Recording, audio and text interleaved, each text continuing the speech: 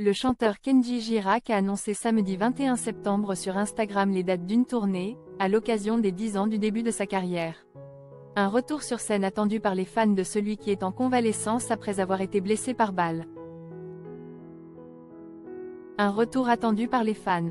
Le chanteur Kenji Girac a annoncé samedi 21 septembre les dates d'une tournée anniversaire, cinq mois après sa blessure par balle à Biscarrosse, en avril dernier. Ces nouveaux spectacles doivent marquer les 10 ans de la carrière de celui qui avait été révélé en 2014 dans l'émission The Voice.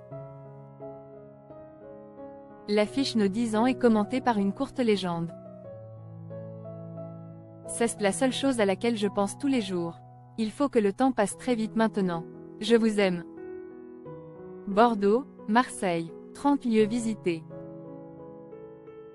Cette tournée anniversaire va traverser 30 villes de France selon TF1, mais aussi de Suisse et de Belgique. Ainsi, entre le 31 janvier 2026 et le 12 avril, le chanteur passera à Bordeaux, Le Mans, Lille, Rennes, Marseille ou encore dans sa région natale en Dordogne. Pour terminer en beauté cette séquence, l'artiste prévoit également une dernière date française à El Accor Hotel Arena de Paris-Bercy, le 14 mars. Il ne s'agit pas de la clôture définitive, puisque sa dernière date est prévue à Bruxelles. Kenji Girac sera de retour sur les planches en 2026. Il devrait être remis de sa blessure par balle datant d'avril dernier.